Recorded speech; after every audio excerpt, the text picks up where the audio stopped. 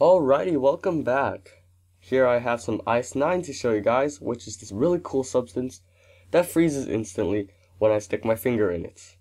Well, of course, to do that, we need to use some of these crystals of the solution itself.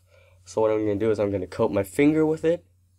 And yeah, so it's going to take some time because it's kind of hard to get dry crystals to stick on finger. But I'll manage. Okay, here we go. So I'm going to stick my finger in. And as you can see, there are crystals growing around my finger. And it's spreading out. And you can see, indeed, it's a solid white crystal.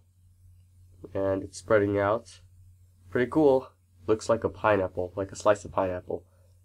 But still, it's pretty cool. So you can see it's slowly spreading out. I'm going to stick my finger in on the sides and we're going to see what happens.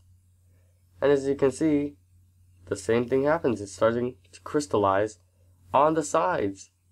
I mean, wherever I stick my finger, it's going to start crystallizing.